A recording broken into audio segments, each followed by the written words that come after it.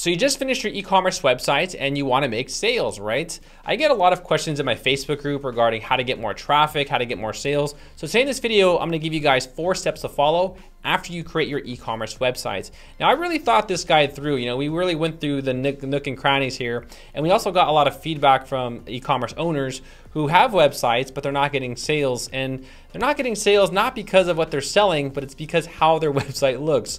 So first we're gonna go ahead and talk about uh, website optimization. So is your website ready to even be marketed? Let's take a look. Now let's talk about how to market your e-commerce website so it can help you make money. I'll be breaking this section down into five different chapters and giving you steps for each chapter. Don't forget this blog post is available on my website, so feel free to refer to it at any time, but I'll be talking about the most important steps to follow for each chapter. Chapter 1 Focus on your website optimization first. Don't rush to marketing strategies right away. If you ignore your website, then you're just wasting your money on marketing. You will not be able to convert anyone if your website isn't optimized properly. Ask yourself this question. If you bring 1 million visitors to your website tomorrow, what would they say? How many of them would actually buy something? Or would your customers leave because how your website looked? Step 1 Proofread your site's content. You might think you can get away with typos and grammar mistakes, but the worst thing that can happen is that you miss out on a sale just because you spelled something wrong. This happens. Just double check your website and make sure it looks good. Step two, make sure to link all of your social profiles for free engagement. What you can do to amplify the reach of your website is to bring all of your social profiles together and share your content on all of your networks as much as possible. This is a great way to build trust and establish your e-commerce website. Step three, start your on-page SEO. The on-page SEO is probably the most important factor when optimizing your website. Optimizing your website tells users what your website is all about and represents your business in the Google search engine. I do have two videos with Rank Math and Yoast that will show you how to submit your website to Google and also index your website in the Google search results for free. This is a must do for all e-commerce websites. Step four, capture emails. It's free money. Emails are a great way to communicate and sell to your audience that already have an interest in buying your products. Always add a subscribe box to your e-commerce website so you can remarket to those customers who are already interested in your products. I have a full video on email marketing with MailChimp and I will leave that in the description of this video. Step 5. Keep your website load time under 2 seconds. How dumb would it be if you lost money because your website was slow? Nearly 70% of customers admit that page speed affects their buying decision. In fact, the probability of bounce rates increases, which means people leave your website, by 32% if the website loads from 1 to 3 seconds longer. Make sure your web pages are under 3 megabytes for each page for optimal performance. So I do think that's a great question to ask is if I gave you guys 10 million visitors tomorrow that went to your site, what would happen? You know, would they leave? Would you lose sales because of how something looked or you didn't have a proper uh, email remarketing campaign or the website was too slow or you just couldn't spell correctly. So before you guys think of marketing, please make sure your website is fully optimized for everybody. Once that's out of the way, let's move on to the next step, which is owning an e-commerce website. Now, owning an e-commerce website can kind of make you possessive, right? You're just kind of like, oh, I want to fix this and this and this and this. And guys, uh, remember, this is a slow growing business. So don't think that you're just going to make a million dollars overnight. It does take time, but let's just talk about uh, rules to follow before you guys start marketing. Chapter two, the golden rules before creating a marketing campaign. Rule number one, start with free organic options. It's very easy to get sidetracked and start spending money on marketing campaigns that you have little experience with. Relax and start with all the free organic options first before you think of spending any money. We will talk more about this later. Rule number two, growing your business takes time. You should never expect to make millions of dollars overnight. It's unlikely that you'll be able to gain tons of traffic and hit six figures in a week. Growing an e-commerce website takes time, but as long as you're consistent with your business, the sales will slowly pour in. Rule number three, avoid burnout and take breaks. Although it's important that you continue marketing your e-commerce website, that does not mean you should do it 24 seven. If you're feeling drained and burned out, take a break. Your website will always be there and you want a strong head to manage your store rather than feeling burned out. So I do think that's a good way to look at it. You know, your e-commerce website will always be there. So feel free to just work at your own pace. And if you're not making sales yet, don't get frustrated. A lot of beginners tend to go to paid marketing immediately because they just want the traffic. They want people to see their websites.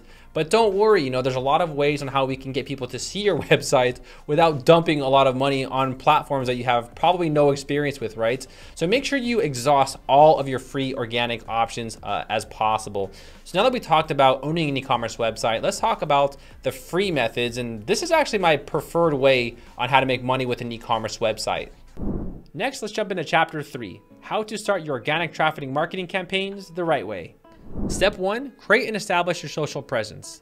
Spend the time to create social profiles for your e-commerce business. Completely fill out all the options available to establish your social presence. That includes all social networks that you think are relevant to your business. Remember, even if there is no one active on your page or engaging with your business at the start, that's perfectly fine. The point here is to show that your business is alive. Also, you might want to create an active community that will attract the attention of other customers. Step two, find as many classified and listing websites as possible. Listing your website on classified and listing websites would give people who are interested in what you're offering a chance to find out more about your e-commerce websites. This also helps give your website more exposure and helps users at the same time. Step three, register on review websites for higher exposure. Review websites have high domain authority and appear high in the Google search results. This is why you should take advantage of them and list your website. When a review website lists your website in their directory, you also gain high quality backlinks that helps boost your online presence. Step 4. Start content marketing on your blog. The main advantage of content marketing is that it has long-term benefits. When you create quality content for your blog, search engines will naturally boost up your ranking and organic traffic will start to increase in the long run. This is the easiest way to make sales. Remember, there is no better traffic than organic traffic.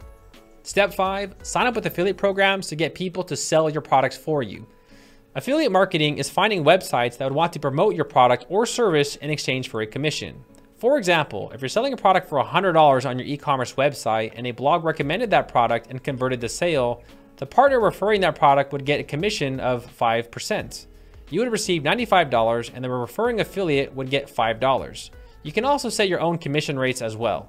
This is a great way to get established blogs with high authority to start talking and promoting your e-commerce websites, and this can ultimately help boost the popularity of your e-commerce store. You can find affiliates by going to shareasale.com, cj.com, and also ClickBank. I'll leave those links to those websites in the description of this video. Step six, negotiate a referral system with other websites. A good strategy that more e-commerce websites are doing is reaching out to websites that sell related products or services and offer discounts for each other. For example, let's say you're selling men's dress shoes. Men who purchase dress shoes might also be interested in briefcase. Since you can't sell briefcases for whatever reason, then you should reach out to a briefcase website or business and offer to exchange links and even a coupon code to work with each other. Working with other websites to get backlinks and help get the word out for your e-commerce website is a great strategy on how to bring long-term sales for your business. Now, I'll be very honest with you guys. Content marketing is a little tedious. You know, writing a blog takes a lot of time. Going to all these directory websites and review websites, filling everything out does take time. And what I've seen from users is they go to these websites, they just, you know, they, they make an account, they fill in one line of text, and then they go to the next. It's like, no, no, no, no, no. You know, really talk about your business, add some banners, some images of your company, and really put in effort. You know, guys, I know it's very uh, a lot of work. you know, trust me. You know, I used to do SEO for a company in Calabasas. You know, I know it's a lot of work, but it pays off so much in the long term if you're just not lazy for that few hours. So I hope I just give you the, the push to just say, no, no, no, no, don't leave yet, fill out more information. Another really good way to make money, obviously, is affiliate marketing. Now, a lot of people feel they're not qualified to do affiliate marketing, or they, you know, as a merchant, they're like, nah, nah, my products are not the best. It's like, why not? You know, all these other companies are signing up and hiring affiliates to promote their product. So, um, you know, going to those review websites, or I'm sorry, affiliate platforms like CJ.com, ClickBank, it's a great way on your website to get more exposure from these bloggers who spend, you know, massive money on SEO and stuff, you know, you can get part of that, you know, and have them talk about your product, you know, and you guys have seen the Shark Tank, right? Where, you know, they have a terrible product, but they just go on the show and they just mention it one time and bam, just because they talked about it one time, uh, you know, they got uh, they got they got the word out, you know, and that's a great way on how to get more money or more traffic to your e-commerce website. Also influencer marketing, which kind of is the same way as the Shark Tank if you think about it, but Influencer marketing is reaching out to influencers like myself. You guys can use like Upfluence. There's a lot of different platforms where you guys can find uh, uh, influencers in whatever niche that you're doing, you know. But reaching out to influencers is a great way on how to get the word out for your e-commerce website. So now that we talked about the organic options, and guys, trust me, this takes a lot of time. Uh, don't rush to paid marketing. I can't stress that enough. Everyone just runs runs to paid marketing. They fail on paid marketing and then they want to quit their e-commerce website. So please, before we go on to the next step, just give the organic options time. It does take a lot of time, but there is one very important paid option that I do want to talk about and that is SEO. And regardless of these other paid methods, make sure you have SEO at the top of your list. It is the most important. Forget about the Facebook ads and all that stuff. Just make sure that your website is visible for people to find on the internet. So let's go to step four and let's talk about paid marketing strategies. Chapter four, paid marketing strategies. Now, once you have exhausted all possible means to market your store organically, then it's time to maybe consider using some paid marketing strategies. However, you should only consider paid marketing once you have made a 100% effort into all of the free methods as possible. Step one, off-page SEO. The truth is, you can do SEO yourself and avoid spending anything. But to be honest, on-page SEO takes a lot of time and effort and you're better off paying someone to do it for you. As for finding someone to do this for you, it's quite simple. Go to freelancer.com or upwork.com. Then find an SEO company, preferably from India. Pick 10 to 15 keywords, including your business name. Negotiate the payments, and then wait for the results. I have more information on how much to spend and also what keywords to use on my website. Step two, influencer marketing. Influencer marketing is all about product reviews. Influencer marketing is when a popular figure talks about you or your products and shares it with their audience. This is an ideal tactic and is often very effective. You may need to look for someone who is well known in your target market. You can also check influencer marketing platforms like Upfluence, Heepsy, and Mighty Scout to find an influencer that best fits your needs. Step 3. Google Display Network Campaigns. This is great for branding. Ever been to a blog and seeing those image banners on websites that recommend a service or product that you may have visited? This type of marketing refers to the space on websites that you can find display marketing for all sorts of things. Google will show these images on random blogs throughout the internet and is a great way for branding. Google display ads are pretty cheap and they're great for branding purposes. Step four, Facebook ads, but start slow. Facebook ads can be very inexpensive and is a great way to reach customers that are interested in your brand. Facebook allows you to search based off interest and demographic data.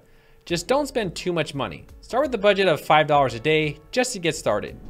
Next, let's move to chapter five, and we're gonna talk about marketing platforms that you might wanna avoid.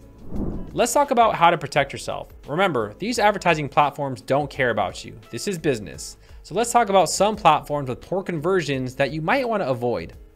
Number one, banner ads on websites. These are those annoying banners that you see on the sidebars of websites.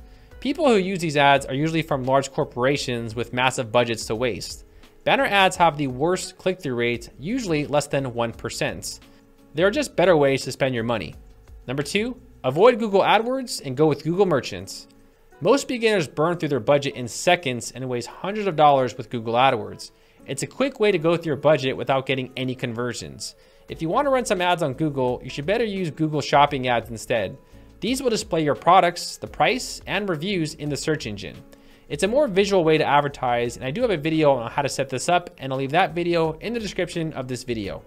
Number three, just avoid Twitter. I do believe some businesses should have Twitter accounts. It's a great way to communicate with their audience to let them know about announcements and updates. However, when referring to paid marketing, Twitter has some of the lowest ROIs in the market. Out of the most marketing studies, Twitter has had the lowest return on investment compared to any social website on the internet. Twitter is mainly geared for war and people like to rage and rant on this platform. It's just not the best place to spend your money with such low ROIs. And finally, let me give you my personal opinion. Should you list your products on marketplaces? I know it's tempting to go the easy route and just list your products on marketplaces like Amazon. You may think it's not a bad idea and you don't stand to lose anything by doing this. But the truth is, these marketplaces are very competitive.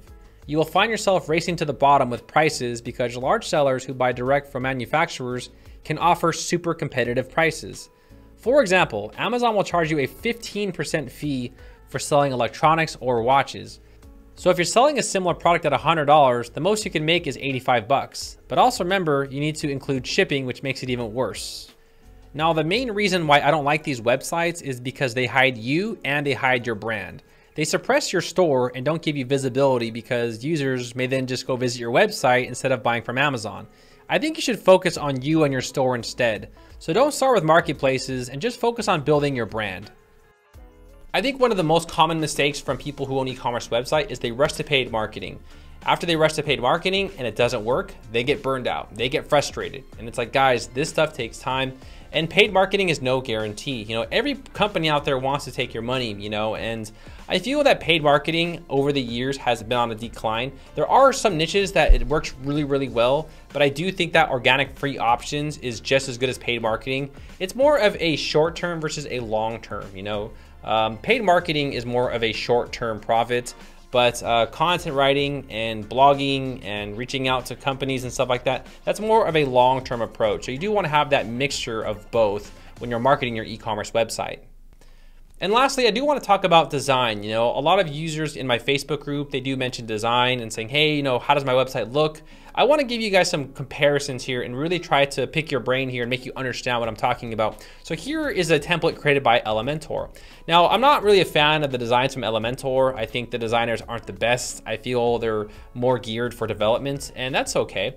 But uh, here they're giving out one of their um, one of their templates for ceramics. So this is like an e-commerce website on, on selling ceramics. Now, I think this landing page is very boring and bland, and it just doesn't work good.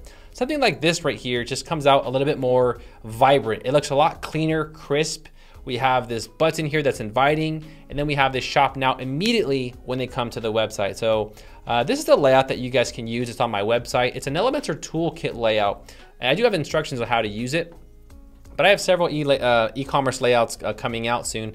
But I just want to really pick your brain. So take a look at this, and people are like, "Oh yeah, it's okay, right?" Like that's that's right. It's okay. It's not great. It's okay, you know. But I do realize Elementor probably released this for you to kind of build upon.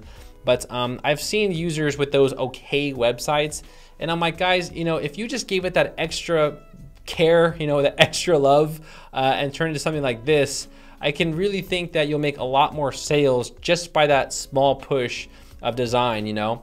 And uh, let's just take a quick look here. I'll just give you guys some general feel. This is a layout that we created. And I just feel like this just adds that, that, that really elegant design. You know, we have these products, it looks great. And you know, this is an e-commerce template that you guys can download for free on my website. It's using Elementor. You guys will need Elementor Pro to use it though. And we do have several other pages, you know, like the gift card, the services and stuff like that. So we're creating these layouts for you guys and you know, we're making these in hopes that you guys, you know, get some inspiration. You know, you don't have to copy everything that we do, obviously, but uh, just getting that that kind of um, design emphasis and that structure of these sites will really help you guys out with your e-commerce websites.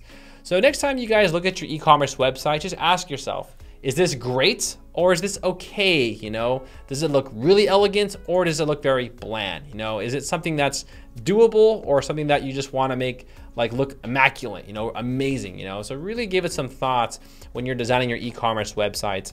So uh, yeah, hope, hopefully this video helped you guys out. I just get this question quite a bit in my Facebook group on comments saying, hey, I just built this website and I want to market it and what do I do from here? So you guys can go ahead and download this layout for free. It's on my website. Uh, right now it's password protected, but by the time you guys are watching this, it'll be available for free. And I do have instructions here on how to actively uh, uh, apply it to your website. It's not a layout, it's a toolkit. So just go ahead and watch that video on how to add it to your um, to your e-commerce website. So guys, hopefully this video was helpful. If you guys have any questions for me, let me know in the comments below. I wish you guys the best of luck. I truly do. Uh, if you guys haven't seen my latest e-commerce video, uh, we talked about how to make an e-commerce website with Elementor. In this website, you know, we just got so much feedback. People were just saying, dude, this is the best, the best looking website I've ever seen. And you know, I spent thousands of dollars with me and my designer, and we wanted to make something that just looked really, really good to just blow everything out of the water. You know, really, really push the limits of design. You know, for you guys. So I really do hope it helps you guys make money. So I'll see all of you party people in the next video, guys. Take care.